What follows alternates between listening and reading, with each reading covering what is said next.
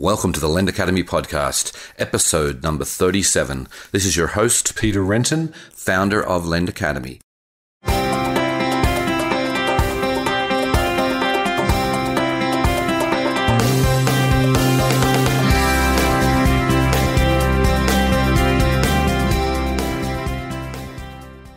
Today on the show, I am delighted to welcome Frank Rotman. He is a partner at QED Investors and he also spent over a decade at Capital One, including some time running their uh, personal loans business. So for that reason, he has a unique perspective on this industry. Uh, QED Investors is a firm that has made probably more investments in this space, in the lending industry than anyone else. And uh, his role there has, has basically exposed him to all of the, the leading companies that we, uh, that we have today and all all the new ideas that uh, that keep arising. So, wanted to get him on the show, talk a bit about that, but also to talk about his white paper that I put it on Lend Academy a bit over a month ago, and uh, I think it's been a it's been a very well received paper. He talked about it at Lend It, and we're going to go in depth into that white paper in the show. Hope you enjoy the show. Welcome to the podcast, Frank. Glad to be here. Okay, let's just get started with just giving the listeners a little bit of background about yourself, uh, particularly about your your time at Capital One. Sure, sure. So, for the past uh, 20 plus years, I've been in the fintech space, with my formative days being uh, back at Capital One. And uh, back in the Capital One days, I spent most of my time either building businesses from scratch that the company needed or fixing some of the large businesses when they were broken. So I was one of the earliest people with my hands on the subprime credit card business as an example. Uh, spent a lot of time in super prime and rewards. Uh, spent a lot of time on exotic asset classes, and you know then ultimately uh, moved on to help uh, outside of the credit card world with everything from diversification into other asset classes and different geographies, and even managing some of the exotic asset classes for the company spent a lot of time also in horizontal roles that included, you know, the chief credit officer role of the company uh, before it was even an official role, and uh, managing some of the the big operational areas strategically. So collections, recoveries, fraud, some of the big areas there. So you know, had a variety of different roles and left Capital One in 2005 to build a student lending company, and then helped found uh, QED Investors with two of my compatriots from Capital One in late 2007, early 2008. Okay, so then let's just talk a little bit about the QED. So, I guess, like, what was the thinking behind the formation of that company? Why did you join it, and, and what are you what are you focused on there? Sure. So QED was formed, you know, a little more than seven years ago with two other notable ex Capital One executives. So Nigel Morris was the co-founder of Capital One and the uh, president and COO, and really the heart and soul of you know Capital One and scaled up to 20,000 individuals across the globe. Uh, Caribou Honig was our other initial partner, founding partner, and you know he really helped analytically understand how to originate customers in a repeatable fashion at Capital One. So really a marketing genius and spent a lot of time cracking the code on different uh, marketing channels within Capital One. And the three of us really found ourselves in the market at the same time, uh, wondering what we should be doing and what we could do next. And we came together to form QED Investors and realized that our operating skills were a little bit different than those of uh, other VCs and private equity firms because of our experience. And we were going to try to use our own capital. We've never raised outside money to help early stage and even mid stage companies grow. And, you know, we're a little bit different than most where we're really operators disguised as investors. And, you know, we roll up our sleeves, get in there, hands on, and we felt like this would make a difference. So for the past seven and a half years, we've been investing our own capital and and really trying to help as many companies as we could. Right, right. So let's uh, let's start digging into that a little bit you, know, you, you invested in Prosper back in the not the very early days, but um, still uh, back in 2009, I think it was. So obviously you you did a bit of um, quite a bit of due diligence there, I imagine. So what what made you um, what firstly what got Prosper on your radar, and then why did you decide to invest? Well, another former Capital One executive, Raj Date, was involved with Prosper at the time. And, you know, he let us know about Prosper and really spent a little bit of time with us on it. Um, we were talking to some of the other notable platforms that were out in the industry at the time, but we spent more time with Prosper than with the others. And, you know, you're right, this was not in the earliest of early days, but it was post SEC, uh, very, very soon after uh, Prosper had rebooted. It was only originating about a million dollars a month of volume. And to put that in perspective, before they shut down, they were originating between six and 10 million a month. So it was still a very early industry. And, you know, what we liked about it was the concept. You know, it was the first time that consumers were going to have access to an asset class in depth and yield, what was being projected to Prosper. And the problem was that Prosper just hadn't been able to deliver on its promise in, you know, the earliest of early days. And, you know, the reasons for not being able to deliver on the promise of returns were very obvious. So it's not like it was a mystery where, you know, the platform wasn't, you know, generating positive returns, in fact, significant positive returns for investors and wasn't, you know, delivering money saving offers to consumers. That was really the goal. It just wasn't happening. And the reasons for it were obvious. So again, the lender returns were negative on average. Uh, the risk models needed a complete overhaul. It, it was really obvious that you couldn't let the market determine the price when the market consisted of retail investors who didn't actually understand risk analytics and credit policy. You know, there were even details like the verification process was very underwhelming. And, you know, the company had a single product with a three year loan. So, you know, there were a lot of very tactical things that we felt comfortable being able to roll up our sleeves and help the company with. And if you solve those issues and, you know, created a very strong set of competencies within the company on behalf of investors and borrowers, the expandability of, of the platform at the time seemed limitless. You know, if, if you go back and read my original investment memo, which I did recently, it's interesting how we speculated that you know this could be applied to student, this could be applied to auto, this could be applied to other asset classes. And at the time, we thought that you know Prosper was the platform to crack personal loans and then move on to other asset classes on the platform. But it was just very compelling in concept. Right, and then um, so your your partner Nigel Morris, you know, joined the the board of Prosper, and obviously, you know, was intimately involved in the company over the next several years so when I don't want to get, I don't want to make this all about Prosper this uh, this podcast, but I just want to have one more follow up. And you you obviously saw the company go through a dramatic change uh, with you know a recapitalization. You know when the Vermuts and, and Ron Suber came back came in. What were your thoughts back then, and how do you feel the the company is? You know what what really changed at Prosper? Sure. Yeah, it, it difficult situation when you know you see an opportunity that is fantastic and there's a crisis within the company that has nothing to do with the opportunity itself. It has to do with other details that are going on you know behind the scenes how the company is managed you know something about you know how the the industry participants are looking at your platform. And there's a lot of work to do to really fix the platform. You know some of it dealt with people some of it dealt with product some of it dealt with investor relations. And when the Vermuts came to the table with Ron Suber, it really was a catalytic event. So we were crossing our fingers and hoping that things would be better and getting the right management team in place to really catalyze everything and crystallize it into a strategy that the market liked. You know, it, it's what we were uh, again, crossing our fingers and hoping for, and it ends up that they delivered much greater than we ever expected they could, and faster than we ever expected they could.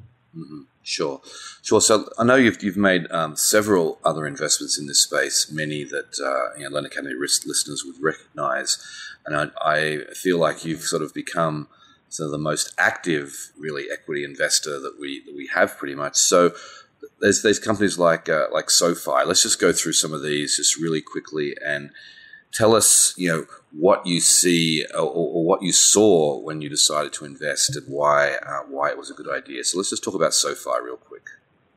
Sure. So I actually have an affinity for student lending because after uh, after Capital One before QED, I helped build a student lending company. So when student lending uh, opportunities started coming across our desk, it felt very familiar. And uh, Nino and Mike Cagney are two of the best financial engineers I've ever met in my life. Mm-hmm. And tackling a category like student, it felt fantastic. Um, and really, you know, SoFi is about finding an upwardly mobile consumer that just happens to have graduated recently with a lot of student debt. And if you underwrite the customer, if you underwrite the schools they come from, if you underwrite their free cash flow, you know, the concept is you can find a near zero or zero loss customer, you know, and, and, uh, you know, offer them a, a product that's at far below the rates that the government was offering them for their student loans. Because there really is an arbitrage play here where with the government, every single school is looked at with the same price. Every student is looked at for the same price. Mm-hmm. So it was really finding the best of the best, the upwardly mobile consumers, and ultimately, you know, they're the equivalent of trying to, to become right now the First Republic well before First Republic could bank the customers. Mm-hmm. Right, and you know, and obviously that's you know they're they're talking about an IPO now. They're growing like gangbusters, and certainly that's going to work out to be a very very good investment for you guys. And another company that's growing really fast is Avant, and you were fairly early on on board there. Uh, you know, their bandwagon. What uh, what what did you like about Avant when you first looked at them? Yeah. So if if anyone in the audience has ever met with Al Goldstein, they'll realize that he is a force of nature. yes. His, his a third or fourth business that he's building, he's very pragmatic, very aggressive, but measured in the steps that he takes. And I remember, you know, having a conversation with him very early on and saying, you know, we're either going to be best friends or you're going to kick me out the door because what I like about your business is it's a boring consumer finance business where you make money on interest. Right? I mean, it, it's not about anything other than offering the consumer a product that fits their credit profile, and there aren't games being played. You make money on interest. Mm-hmm. You know, Al shook my hand and said, you know, we're best friends. That's what I want to do. You know, you understand the business. You know, let's figure out how to build this. And you know, ultimately, we've been modestly helpful to to Avant and the business, but Al and his team are just superstars. They've built lending businesses in the past. You know, they knew what they were doing. Uh, guidance from us was really just offering advice and helping them in the early days get a, a few things together. But you know, this team could crack any market. Right, right. Yep, I agree. And I'm going to Al is going to be a, a guest of my podcast. I hope uh, here coming up soon.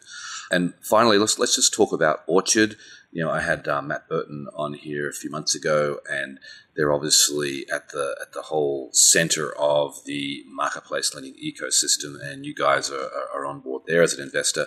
What what do you like about Orchard? Yeah. So now that the general idea of marketplace lending or you know peer-to-peer lending or even specialty origination of lending assets with non-banks whatever you want to call it now that it's arrived and people understand it and believe it's here to stay, it's time for an infrastructure layer to really pop up to support this new set of players. And, you know, Matt Burton and there are a handful of others are actually crossing the divide from ad tech over into fintech because they realize that some of the same tools that were very helpful in the ad tech world are going to be helpful as the number of players expand in fintech. And Matt Burton is one of those individuals. And, you know, what he was building felt very familiar to us because we, in, in our, our earliest years of, of QED, we actually invested in quite a few ad tech properties, one of which was MediaMath, which was, you know, the first DSP in the ad tech space. And really what Matt Burton is building is a DSP for lending, where there are obvious people who are trying to find loans and those loans need to be described. The, you need to understand the characteristics of them. You need to understand how they perform. You need to create a bidding strategy for them, and you need a tool for executing your bids. And on the other side, you know, there's the actual inventory itself, and there are players that want exposure to the people who are buying. And, you know, really matching up the two so that it's not, you know, a one-to-one relationship where every time you want to light up a new platform, you have to directly integrate you know, you can integrate with Orchard, and Orchard does work of of doing diligence on the platforms and then ultimately integrating with them. and then creating the exposure layer, again, of all of the data, the reporting, the bidding, uh, all of it for very low rent. It, it just becomes incredibly compelling for all parties in the ecosystem. Right.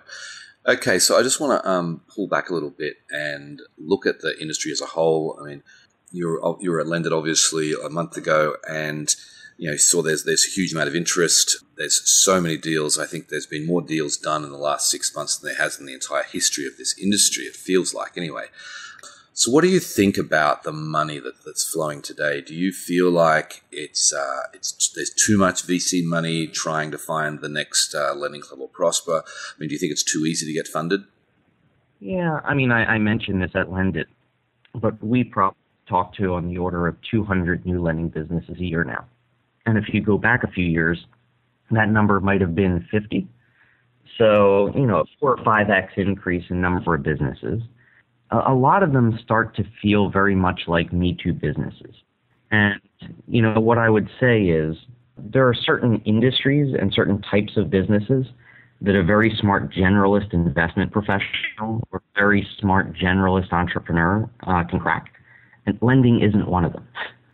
So, you know, competencies need to be built through practice, experience, cycles, asset classes, uh, customer profiles, credit segments, uh, marketing channels. I mean, it's it's a very very complex business, and you know, I know some incredibly smart VCs that are investing in the space, and the unfortunate part is they don't know what they don't know because this is a complex industry. And what we're seeing is a lot of these platforms, the, the new entrepreneurs also don't know what they don't know. So when you have funding sources that don't know the right questions to ask, and you have very compelling entrepreneurs trying to tackle big problems that also don't know what they don't know, you know, it creates uh, some gaps that are going to appear over, you know, the coming years as they grow. So for instance, very few of the platforms or investors really understand the true nature of regulatory risk. You know, a lot of these platforms are trying to use new data sources, for instance. And if you don't understand Reg B, then you don't have perspective on whether it's a good idea or a bad idea, or the platform is going to get in trouble or not be allowed to use the data. You know, there are too many platforms also launching with not enough differentiation. And, you know, understanding how to launch a new financial service product in a, you know, a saturated or a competitive marketplace, I should say you know, that's a whole nother set of questions. And in one of my earlier blog, you know, posts, actually talked about one of the questions that I ask all businesses, which is that if faced with perfect information, would a rational consumer choose your product? And very few of these new platforms can answer yes definitively. So again, I, I, I think, you know, to cut to the chase, too many platforms are trying to emerge too much money is being thrown at it, but there's still room for some, you know, a next generation of giant to emerge because by no means have the emerging winners, you know, covered the entire space. Right. So then, what would it take on that note? If you know, so you say you look at 200 lending businesses a year. I mean, what? How do, how does one really, you know, position themselves such that you would be willing to open your checkbook and uh, and make an investment? Yeah it, it might sound a little crazy, but looking for is an unfair advantage. Right? So in, in a new platform, you want something that's so differentiated, you almost want to be able to say, no one else has that. You know, another Me Too platform that's a little better on one dimension, maybe they'll succeed, maybe they won't. You know, but ultimately that's a tough game, and and I don't like playing tough games. I I prefer, you know, these, these businesses are difficult enough to build on their own, that you want to make sure that you have a reason for existence in the ecosystem. So I'm looking for things like privileged access to customers, right? Some marketing channel advantage. You know, too many people are fishing in the open waters of the internet, competing with the other, you know, players that are out there. And to me, that's not a winning strategy in a segment that's already been cracked by some other players.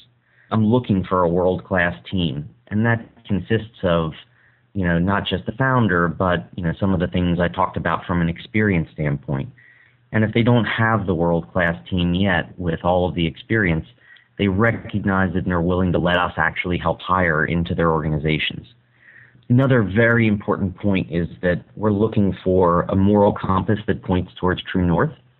You know, there are too many ways of making money in financial services, especially when you start to get into high priced lending, that if you don't have a moral compass that points towards true north, I mean, even one or two degrees off of true north uh, will ultimately get you in trouble over time. And we have no interest in that. So, I mean, that, that's really it. And, you know, there are a lot of asset classes out there that have yet to be cracked. You know, there are a lot of uh, business models and, and propositions out there that will resonate with consumers and small businesses. So it's, it's really about assembling everything in the right way. Okay, so I want to switch gears uh, right now and talk a little bit about the white paper that you penned uh, just a short time ago, the hourglass effect. So, I guess a couple of questions. First, give listeners a, a, little bit of a summary about the white paper, how it came about, and what were you actually trying to achieve by, by producing this paper? Sure, sure. I mean, occasionally there's just a topic that's begging to be written about, and I think this is one. The way I think about it is I, I don't know if you've ever been to a party where a group of people are discussing a topic and it's really obvious that no one in the group actually understands the topic that they're talking about. So you, you as an outsider are listening in on this conversation and you realize it's an interesting question, but no one has perspective or you know the insight to actually answer the question. Mm-hmm. And you know that's what this really that's what this really felt like, where the hourglass effect uh, the hourglass effect was meant to tackle the topic of why haven't the banks come back? I mean, it's a very, very simple question where you look at Prosper and Lending Club and some of the other platforms, you know, SoFi and Avant, and you, you see this growth in next gen lending. You know, whether it's a marketplace model or a balance sheet model, and you say, what's happening at the banks? Because they have a lot of advantages that if they decided to uh, come back into this space, wouldn't that mean doom for a lending club, Prosper, Avant, SoFi, or any of the other players? And I found myself answering that question a lot, whether it was to a VC looking at a new platform or it was to an entrepreneur that I was meeting with and talking to. It came up frequently. And then when your partner in crime, uh, Jason, uh, actually asked me the question about a month before you know, the Lendit conference uh, and said, look, this is something that I'm being asked a lot. Do you have any answers I should be giving people? it was really the catalytic conversation to just say, look, let, let me just write a paper on this and you know get some information out there with my perspective on the topic. And that's really the origin of the paper. Right, right. And I, I, got to admit, it's one of my questions as well. And, and Jason and I would uh, would chat about it, uh, you know, on a somewhat regular basis because it's, it's sort of been the big dark cloud. Well, not, not so much a dark cloud, but a big unknown that's been uh, hanging over this industry now for many years. So I want to actually go through some of the, the, the parts of your paper here because you really take us on a on, on a very interesting historical journey. And uh, in, in, the paper, I just want to briefly touch on the some of the different eras that you that you talk about, where you, know, you talk about firstly the boom era, where you know the banks were lending freely. I mean, you said you did like you know, four to five billion dollars in personal loans uh, at Capital One. So I'm, I'm really curious about firstly, you know, Capital One built their built their business, but you know they're, they're on they're a credit card business primarily. That's what they. Um, you can correct me if I'm wrong, but that's sort of it seems to me where they position themselves. And so then, how do you go along and justify building a personal loans business you know, at Capital One? So Capital One had a, a very dominant position in the credit card market, but it also did have other product lines. So expanded into auto, expanded into personal loans. You know, had aspirations on being in you know home loans and HELOCs you know, a variety of different asset classes as it went down the path of actually buying banks. So, you know, personal loans was just one of many business units within the company, even though, you know, the largest business and the most established business was credit card. So, you know, the personal loans business, when I took it over, had been around for a few years. And for a while it had grown, and then it started to kind of level off. And then it was forecasted to actually either stay flat or I, I, don't remember if it was going to shrink a little bit, but profit was going to be disappearing from the business. And when I took it over, it was really trying to figure out why and what could be done to actually fix that growth trajectory. And it was a very competitive environment. I mean, uh, the first thing you have to ask is, you know, does this product have a place in the market for any particular customer segment? And that was a really difficult question to answer because at the time, you know, people were really tapping into their homes for equity, right? So their home was, as I called it, an ATM machine in the paper. And whenever you had a large project to do, if you were a homeowner and you had equity in your house, the most logical thing to do was to tap that home equity, you know, for a home improvement project or for debt consolidation or for a vacation, because it was a an advantaged product. You know, very low interest rates, very significant access and availability of credit if you had equity in your home, very easy process at the time to get a loan, and tax deductibility of interest. So, really hard to compete against that product on one side and credit card on the other, where there were you know many offers out there of zero percent for 18 months, zero percent for 12 months, you know all sorts of rewards associated with spend, and balance transfer checks just flying around the industry. So you know, it was just very, very difficult trying to find the segments that the personal loan actually appealed to. And it was really zigging where the industry zagged and found segments where it did appeal. So what what were those segments? And so you felt like you obviously weren't cannibalizing other business lines. Is that is that correct? Well, there there was a little bit of that. It's hard not to when you know you're offering something that maybe some of your own customers would want you know the the fixed rate nature of an installment loan that amortizes over a fixed period of time can be very appealing for consumers trying to work their way out of debt. And what we did is we found a couple segments. One was, you know, a longer term product, you know, a five year, six year, seven year personal loan product that kept payments very, very low and fixed, you know, appealed to people who are trying to pay their way out of debt you know, there was another segment which would be the renter population, you know, that didn't have access to home equity loans, which therefore made the personal loan product more competitive. Those are just some examples, but there there were some segments out there that, that this product did appeal to. Right, right, okay. So then, you know, you obviously are able to like, you know, this this business was going great in the mid two thousands, but then as we all know, you know, the bust came and it's curious that, that every single bank exited this business. I mean, I know you talked about Discover being an exception, but pretty much every bank exited this business. Why do you think they couldn't ride it out?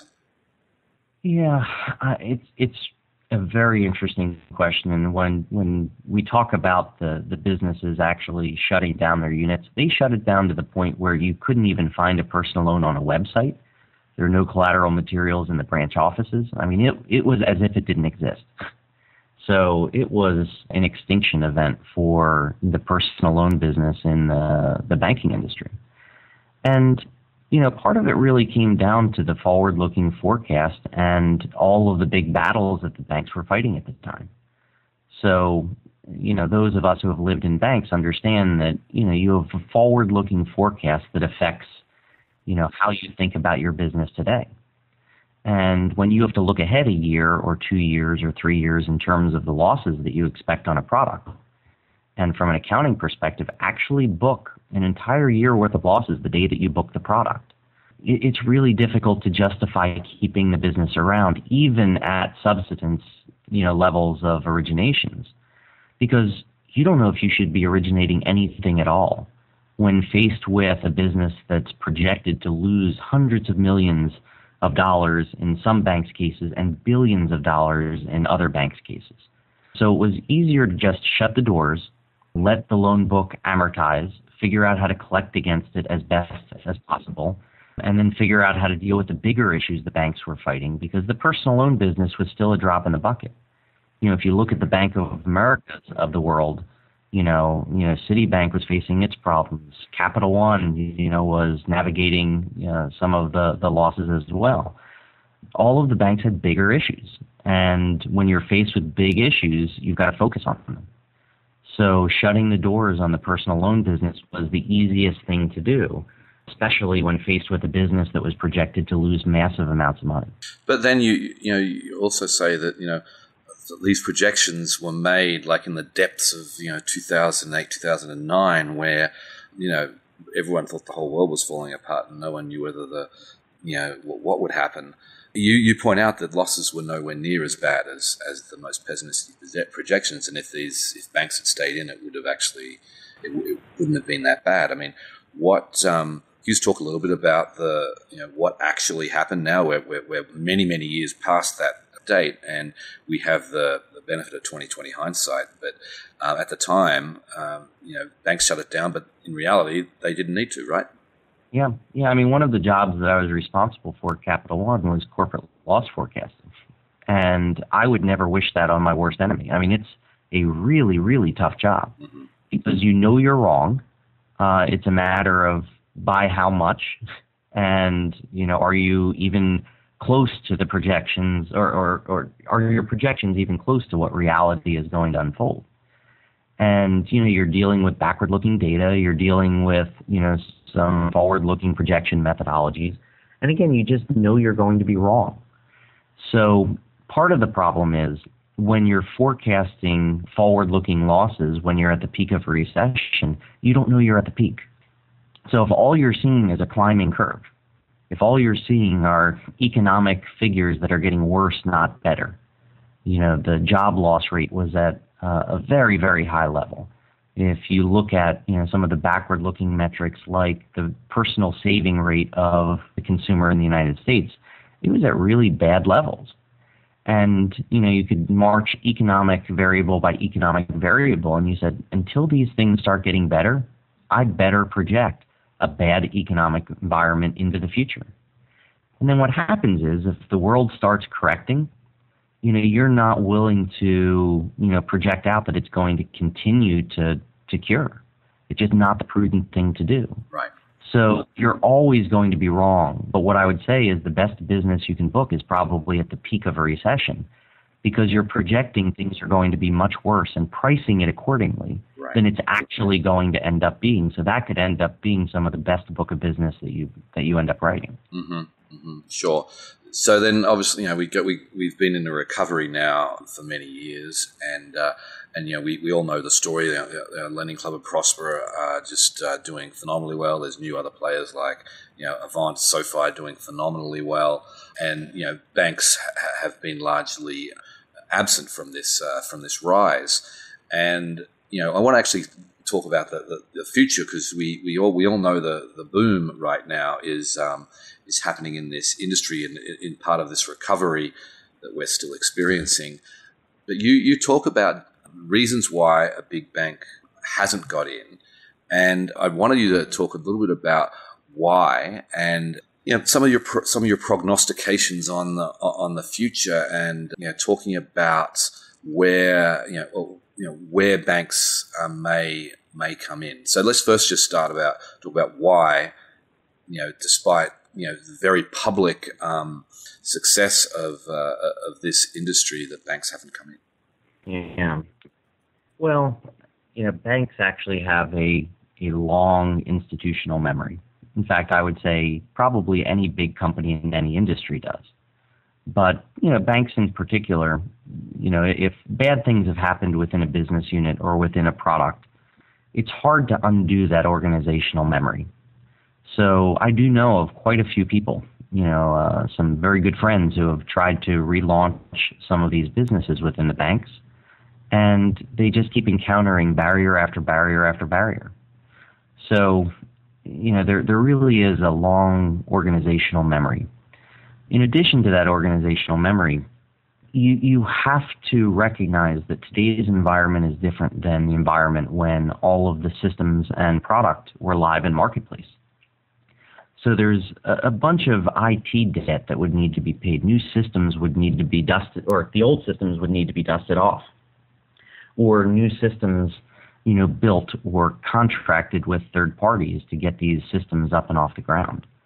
So there's actually a lot of IT work, you know, associated with launching uh, a product that you've shuttered the doors on, and you know that requires you know even more institutional fortitude, you know, to make the leap and build the product again. So you know you've got a lot of reasons why the banks aren't aren't coming back directly. You are seeing some of them dip their toes in the water in a very expected fashion. So some of the banks um, have decided that the first thing they're going to do is to make the product available as a cross sell to their existing customers. So they're tired of losing their own assets to another organization. So the first thing they're going to do is not aggressively cannibalize themselves, but at least make the product findable. Uh, and there are a handful of banks that have, you know, put it back up on their websites and have enabled it back in branch. Mm-hmm. In fact, you know, some of these banks are allowing you to start the origination process online, but then they drive you into a bank to close the loan, which is the opposite of what a lot of these customers are really looking to do. Right. right. They start online, they want to consummate the product online, and the banks still don't get it. They want to do the verification face to face. They want to try to cross sell them incremental products face to face. And they're just more comfortable with the rhythms when they can see and touch the customer. Right. So they, they really haven't relaunched again. Mm-hmm. Yeah. So, and you, you talk about the future where, you know, obviously one option is going to be that they're not, they're not going to do anything. Yeah, I, want you to talk a little bit about the, the concept that you, you discussed about the knife fight, which is you say that we're, we're in right now. What, what do you mean by that exactly? Well, it's, it's actually pretty funny. I was in a board meeting the other day. I won't say with which company, but their marketing person came out and said that we're in a knife fight. I don't think they realized I wrote the paper that you know referred to knife fight, but they talked about you know the industry and how things were unfolding as a knife fight, and, and really it just means that you're in a competitive marketplace, and it happens in all industries eventually when there's good economics and good product to be booked. So, you know, uh, I remember in the late 90s and early 2000s at Capital One, we had a set of competitors that we were aggressively competing against on a regular basis. And it was the same. Just means that if you're all in the same channels and you're all trying to originate similar customers, that it's a battle.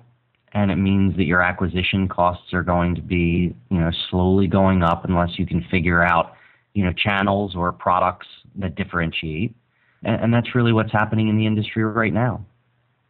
Okay, so then you know the, you you talk about you know that you think it's it's it's it's unlikely that that banks are just going to restart for the for the points you just made.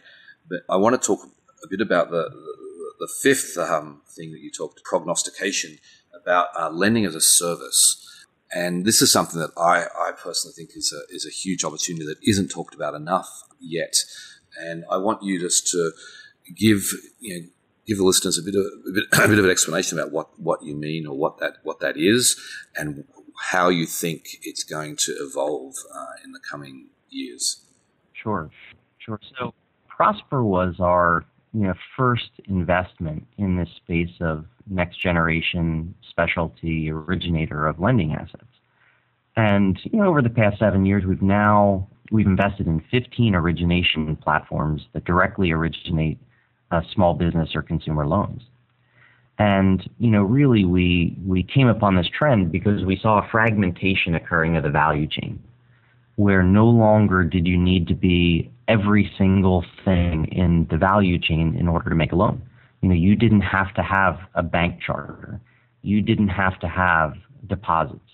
You didn't have to have, you know, world class capabilities in, you know, credit underwriting. You didn't need to have, you know, servicing and collections. It, it was really about tearing apart the value chain and reassembling it any way that you wanted to. So if you wanted to become a specialty originator where you had a lot of a lot of your focus on originating the customer, but you didn't want to service, well, there are players out there who could service for you. You could fragment off that piece of the value chain and let someone else do it for the business model. You know, or if you felt like servicing was a big advantage, you could uh, have that as part of the, the value proposition and then charge you know your your customers accordingly for that. So when I talk about lending as a service, it really is just a, an, a continuation of the fragmentation of the value chain, where now you have some smaller banks, even large banks, and you have brands that are non-banking institutions. And you're allowing them to basically say the asset that we bring to the table is access to the customer. And maybe that's all they want to do. And if they have the ability to access the customer, in this world of a knife fight, it gives them an advantage, right? Because they have access and channels to customers that a lot of these platforms might not have access to at a reasonable cost. Mm-hmm. So if they can access the customer, and with the brand they've built, uh, the channels that they've built, they can get their attention. They no longer need to do everything downstream in the value chain to be able to make loans. And the platforms enable them overnight to basically deliver competencies around credit underwriting, you know, competencies around account management, around collections, recoveries. You know, it enables them to basically manage an investor group or capital markets group or even just a reporting function on how the assets are doing if if the originator wants to balance sheet them. So, you know, the capabilities that have been built by these larger platforms you know, it, it really enables a complete fragmentation to the point where all you have to do is deliver the customer uh, or even access to the customer, and everything else could be done by one of these lending as a service platforms.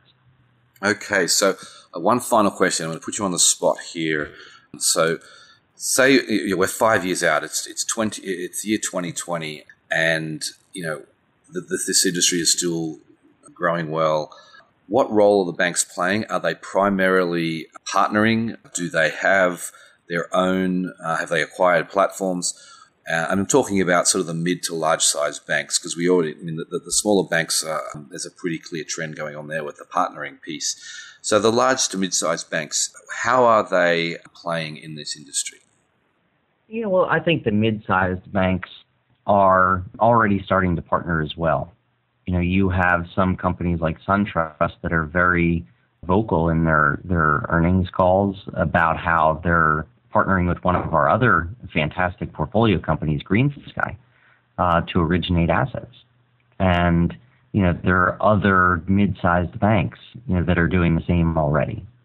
So I think the regionals are uh, going to pick and choose the asset classes that they want to originate themselves, and they're going to have – in branch originations of customers and in footprint origination of customers. But in order to make use of all the deposits that they're able to gather, because they really are deposit gathering machines, they are fantastic at getting people to walk into their branches and hand them money. And, you know, as a result, I, I think they have to develop capabilities, or, or I should say, they have to borrow or rent capabilities from other people because they don't have the ability within their own footprint to make use of all the deposits. And then I think for you know some of the larger players, it might even be some of the same. You know, picking and choosing the asset classes that they want to be world class on, and they do have the ability to invest and hire you know world class people, you know, to manage large business units. They can build the capabilities. A lot of them already have the capabilities in house. You know, competing against Capital One in subprime auto or Capital One in in credit card you know, is something that's a daunting task. I think you are going to see some competitors emerge there. But Capital One is always going to do that business themselves rather than outsource it to someone else. But you might find, you know, some of the bigger banks, you know, picking and choosing asset classes that they're less competitive in and, you know, finding a player to partner with them to do it. So I, I think you're going to see lots of different things emerging from the banks you know, you might see some banks looking to acquire some platforms. I mean, SunTrust did it years ago with Lightstream. Mm-hmm. And you might see some banks find some platforms that have merged to buy their way into a marketplace that they've kind of abandoned. But you're going to see different things from different banks. Right. Okay. Well, thanks, Frank. I could keep talking about this for hours, but we need to bring it to a close. I, I really appreciate your time today. Well, uh, appreciate being here. And uh, if there's anything I can do, let me know. Okay. Thanks, Frank. See ya. Bye. I just want to touch on one point there. You know, Frank talked about SunTrust and you know their acquisition of Lightstream, and they are basically acquiring borrowers online. But what's interesting to me is that SunTrust in the latest round at Prosper actually invested in Prosper's latest equity round. So they certainly don't see themselves as competing against the platforms as much more of uh, a partnership. And it's also interesting to me that not that, that Frank never mentions the light or mentions a likelihood in the white paper that a, uh, the, a bank is actually going to restart one of these installment loan businesses and go head to head with Lending Club and Prosper. Uh, he expects that's that's a very low likelihood. So doesn't mean it's going to be all smooth sailing, and these banks have very deep pockets. But it seems to me that the partnership route is going to be one that uh, is is most likely. So, anyway, on that note, I'll sign off. I very much appreciate you listening to the show, and we'll catch you next time. Thanks. Bye.